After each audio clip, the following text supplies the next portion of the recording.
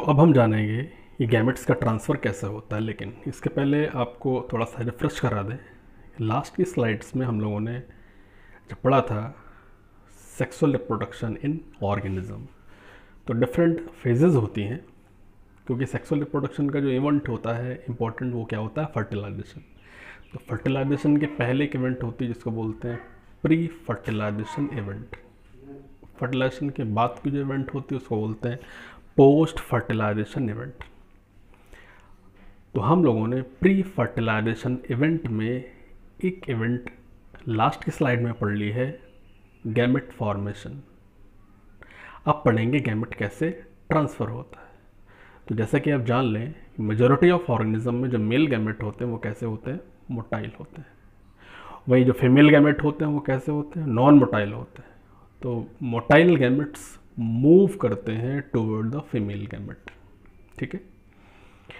कुछ फंगस और एल्गी की अगर बात कर लें तो इनके केस में मेल और फीमेल गैमेट दोनों के दोनों मोटाइल होते हैं। Very important line in algae bryophyte pteridophytes male gametes moves in water तो यहाँ पे एल्गी ब्रायोफाइट और टेरिडोफाइट के केस में मेल गैमेट मूव करते हैं और मूवमेंट के लिए जो मीडियम होता है वो क्या होता है?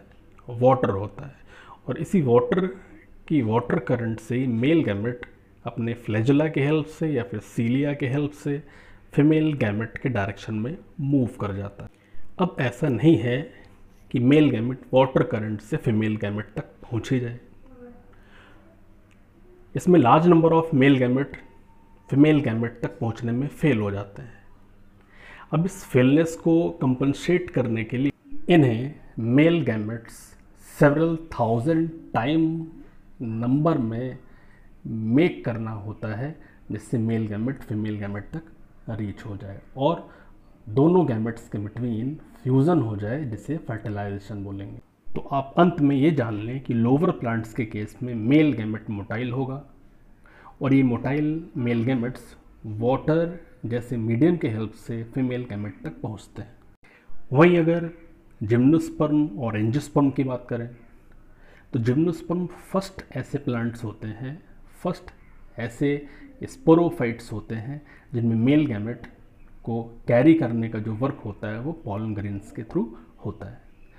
सिमिलरली एंजियोस्पर्म के केस में भी, और स्पेशली जो बाइसेक्सुअल फ्लावर्स होते हैं एंजियोस्पर्म होते हैं, जिनमें पॉलन ग्रेन स्टिग्मा तक मेल गैमेट को पहुंचाता है।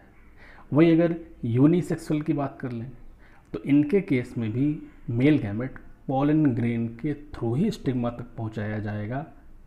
इस प्रकार जो बाईसेक्सुअल फ्लावर्स होते हैं, उनमें सेल्फ फर्टिलाइजेशन पॉलन ग्रेन से होता है, जिसमें पॉलन ग्रेन ईजिली ट्रांसफ़र हो जाते हैं स्टिग्मा तक। वहीं जो यूनिसेक्सुअल फ्लावर्स होते हैं, उनमें क्रॉस फर्टिलाइजेशन होता है, ठीक है? पॉलिनेशन जो होगा वो डिफरेंट मीडियाज पे डिपेंड करेगा।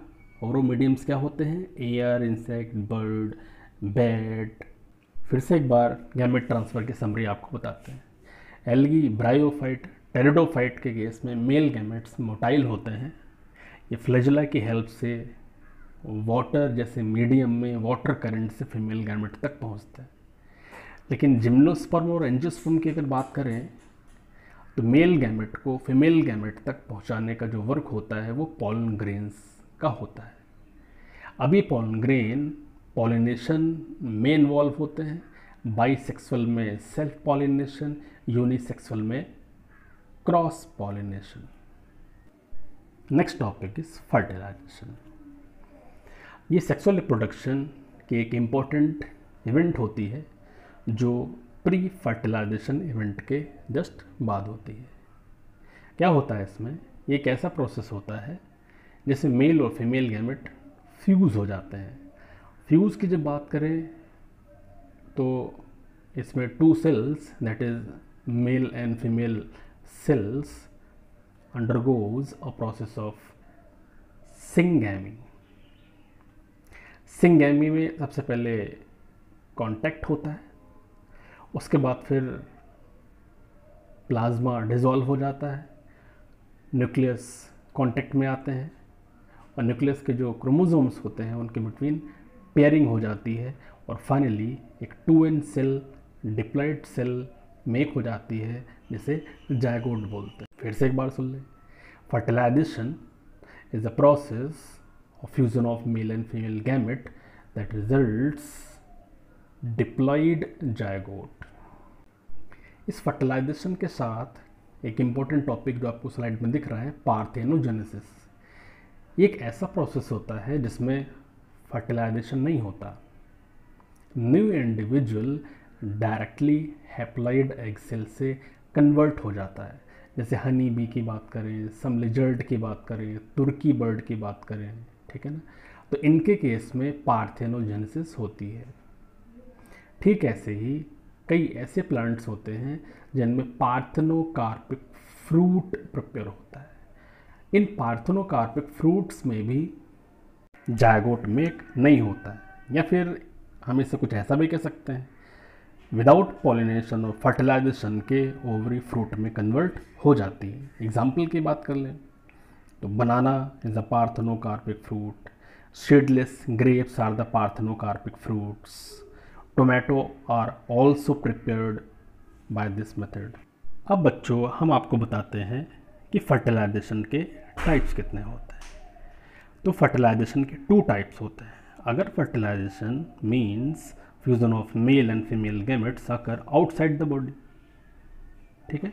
मेल और फीमेल गैमेट अगर आउटसाइड द बॉडी फ्यूज हो रहे हैं वाटर मीडिया में such kind of fertilisation is called external fertilisation examples are all the aquatic organisms like algae, fishes, amphibians. अब आप जानिए कि अगर इन एक्वाटिक ऑर्गेनिज्म में एक्सटर्नल फर्टिलाइजेशन होता है तो इनके कुछ डिसएडवांटेजेस भी होते हैं। जैसे फ़र्स्ट ऑर्गेनिज्म को लार्ज नंबर में गैमेट प्रोड्यूस करना पड़ता है। सेकंड प्रेडेटर एग्स और ऑफ़ स्प्रिंग को डिस्ट्रॉय भी कर सकता है। थर्ड ऑफ़ स्प्रिंग के सर्वाइव करने का जो रेट होता है इनटू द एडल्ट वो भी कम होता है। तो इस प्रकार हम लोग ये कह सकते हैं कि अगर एक्सटर्नल फर्टिलाइजेशन होता है और अगर अनफेवरेबल कंडीशंस आती हैं तो ऑफ़ स्प्रिंग्स का एडल्ट में सर्वाइव करने की जो पॉसिबिलिटी होती है, वो कैसी हो जाती है? लेस हो जाती है। अब आप जानिए इंटरनल फर्टिलाइजेशन जब भी मेल और फीमेल कैमेट का फ्यूज़न फीमेल बॉडी के इनसाइड हो तो ऐसा फर्टिलाइजेशन इंटरनल फर्टिलाइजेशन होता है। अब अगर एग्ज़ाम्पल की अगर हम बात करें तो सीड प्लांट्स स्पेशली जिम्नोस्पर्म और एंजियोस्पर्म और टेरेस्ट्रल एनिमल्स इनके केस में फर्टिलाइजेशन इंटरनल ऑडियो स्लाइड को फॉलो करने के लिए बहुत बहुत धन्यवाद बच्चों। स्लाइड को फॉलो करने के बाद अपने कमेंट ज़रूर लिखें। कमेंट लिखना ना भूलें।